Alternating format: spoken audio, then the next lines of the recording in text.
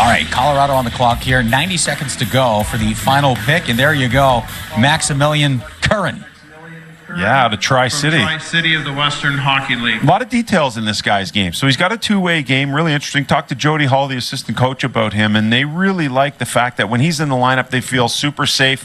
When he's on the ice, you can put him out in all kinds of situations. And again, I talk about this a lot.